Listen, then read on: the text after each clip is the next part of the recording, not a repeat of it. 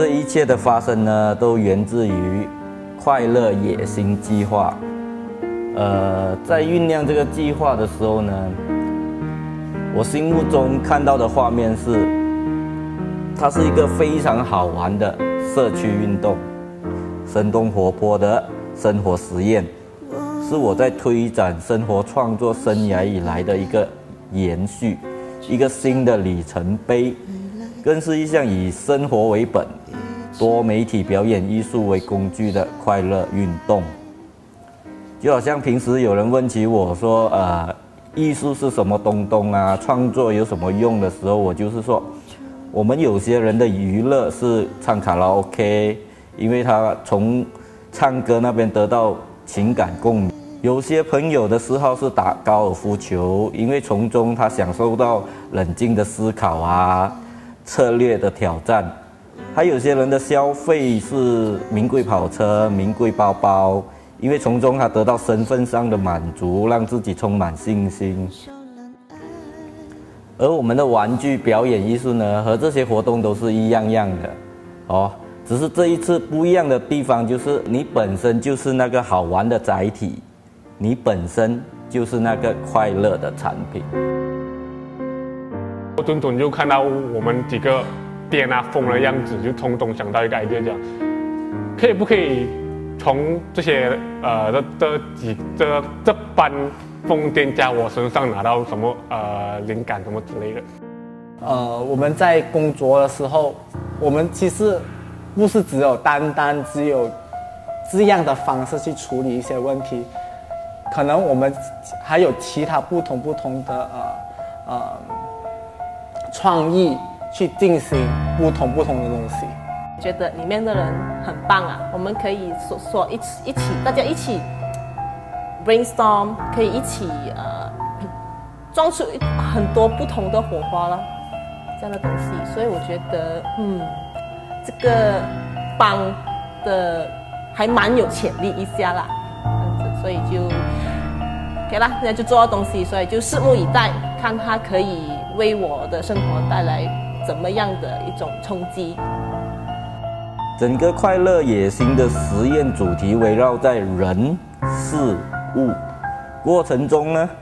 我尝试跳脱传统表演班的一些框架，设计了一套贴近人心啊、没有学术压力、快乐自在的方案给这些来参与的朋友。从中我们一起玩，一起投入，一起去发现人情、事物、环境。是如何在无时无刻，在我们完全不自觉的情况下发生关系？我进行的方式是撞击、戳破、重建，然后再撞击、再戳破、再重建的引导方式，利用学员们自己的活材料，激活你自己的个人魅力，你自己的潜能、潜在能力。学员们必须诚实的，不要扭捏的，通过肢体啊、语言啊，以及与外来者互动的化学作用下，在内在外看自己是如何不经意的惯性的拒绝，方便就接纳，盲目就去否认，包括自以为是的狡辩。关键是你看见你了吗？哦，如如果感觉到自己的话。展现出来的、活现出来的就是舞台魅力，就是生命气质。最大挑战就是我不不是很明白舞台剧它的内容是什么，然后呢，而且我没有我没有接触，完全没有接触过舞台剧，所以在音乐在配乐方面呢比较困难。它不只是教你灯光啊、舞台上的东西、服装啊、演技技巧。它更有趣的地方就是在于如何透过探索自己，然后嗯，如何释放自己，如何去表演自己，甚至是表达自己内心想要讲的话跟一些动作这样子的东西。分享很真实的自己，所谓很分享真实自己，包括你的感受，包括你是看事情的态度。然后我们的导演呢就很厉害，因为他从每一个人不同的角度抓这些很细腻，甚至我们自己没有发现过的部分，然后把这些每个人特质串成一个故事，那个。观念，对于说我能还是不能做什么事情的那种观念是很僵硬的。但是经过半年的这段时间，我觉得很多人开始接触到自己内在，或者说开始接触到自己其实还有很多种可能性的时候，整个人表现出来的那个感觉，或者说那个姿态是很柔软的。而这个柔软是是呃，我会觉得说是人与人之间一个很珍贵的东西来的。在编写《集体性幻想》这个舞台剧的时候，我兴致勃勃地把这些活材料串在一起。简单的说，就是在实践快乐野心计划的一个演出总结，一个实践课程的汇报。延续课程抓住的主题呢，集体性幻想内容发展就是从我们周遭的生活延伸，看上去又好像完全没有关系的生活小片段，利用表演艺术技巧，好像桌子象征着我们生命的一盘棋那样，通过多媒体的运用，音效啊、灯光之类的增添效果，让他们环环相扣，发生关系。呃，然后产生了新奇好玩的组合效果，呃，成就了一件艺术作品。我纯粹就分享我自己一些个人的想法，就是我觉得女生不应该处处都处在男生的保护之下，就女生也可以很独立，不一定要依靠男生，就也女生也可以很 man，不一定要用可爱跟漂亮来形容，就可以自己保护自己，就不要太依赖别人。是相信的信，不是性爱的性。所以这个东西，到他的剧本最后出来的时候是，我觉得，其实我我我个人认为啊是没差了，就是到最后其实是，呃，我们剧里面的所有角色都是这个欲望的消费者啊，也是拿来自爽的了。无论你是修行者或者是痴男怨女，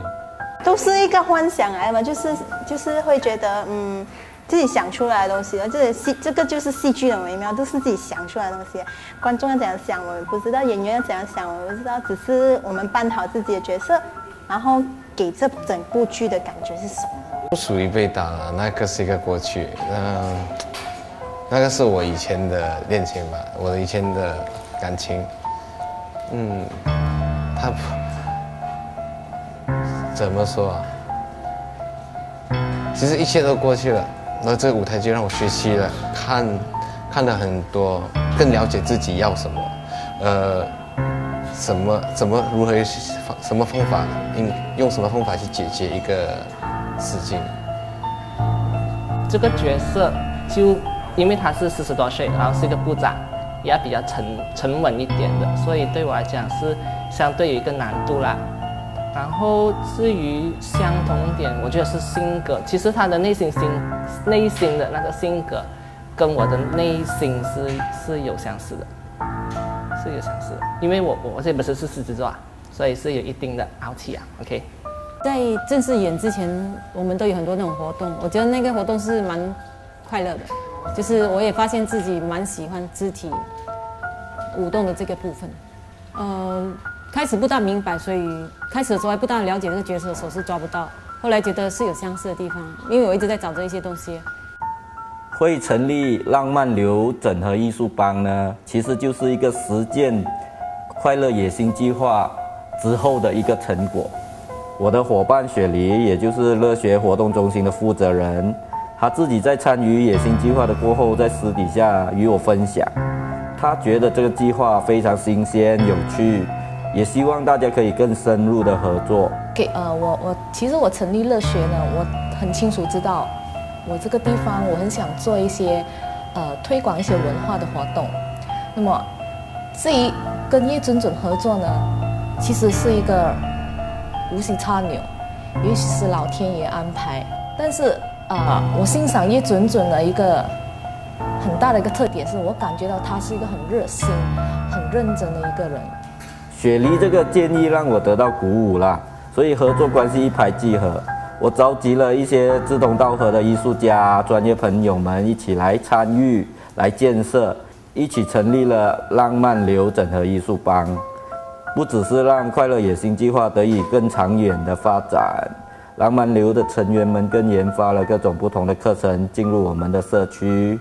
嗯，进来这个舞台剧过后，就会觉得嗯，本身会放放开，因为平常我们没做过的东西，在呃进来这边就觉得，原来我还有些肢体动作是没有做出来的。因为我是一个很木的人，我不大不擅长去表达我自己的情感、我的情绪和我的讲话、我的对话。其实我很喜欢这个角色，因为很很怀念我，我没我没看过我公公啊，我很怀念我公公，因为公公在我还没有出世的时候去去世了，我我都的公公脸我就看我都我都不晓得怎么样，所以非常想念我的公公。我想把我的公公的角色演得更好一点，给我的爸爸妈妈跟我的孩子看。哎，我会加入这个演出呢，主要是因为导演叶准准哦，他跟我讲说他正在进行的一个这样子的计划，然后就有十几个学生就要进行他们的一个成品的验收这样子，然后就叫我，刚好我已经回来，叫我来参与，然后我就来了。然后，当然我来的第一个，我来的第一次呢，我是他在上课，我是在旁边观察的。那个时候我只是觉得说，哇，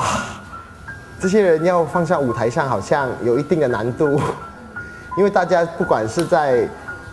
表演的经验上啊，还是对自己身为一个表演者的那个认知，也还有很多需要加强的地方，所以我就。